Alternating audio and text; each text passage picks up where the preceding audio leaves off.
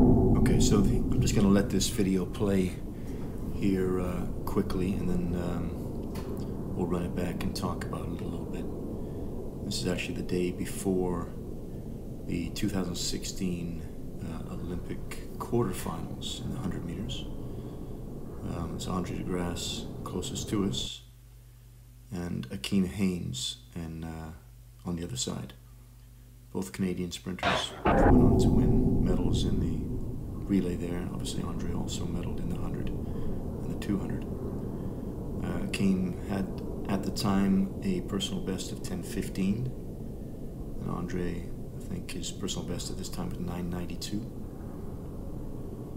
And what we see here is a really good example of two very different solutions. Obviously, Andre is a little bit faster than Akeem. Akeem's also ran 651 in the 60. So, you know, quite a bit faster than Andre uh, in the 60 meters and is a, you know, a quote unquote better accelerator. Akeem's a really good example of a, you know, what we call a type A athlete. An athlete that will bias more towards force production, concentric strength abilities, and pushing. So he spends, you know, maybe a little bit longer on the ground, but applies significantly higher forces over the course of that time than, say, a guy like Andre. You can see that sort of play out here.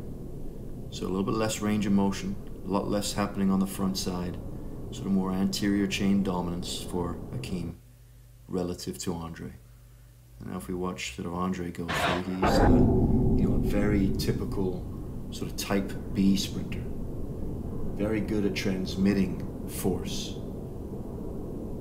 You know, so his you know his eccentric strength abilities are really really high, but his contra- concentric strength abilities really quite poor actually.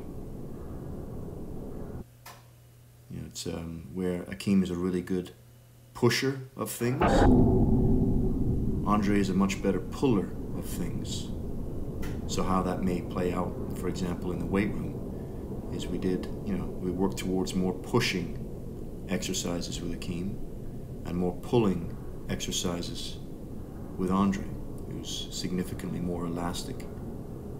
So we did a little bit more elastic work with, with Andre, a little bit more sort of force generating work with Akeem.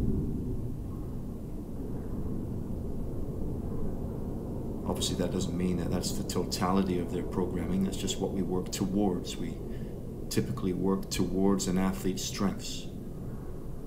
So earlier on in the season, we may spend a little bit more time working on the things that they're not so good at, and later on in the season, we'll be doing the things that they are really good at that make them feel real good about themselves, that they're comfortable with and very confident in.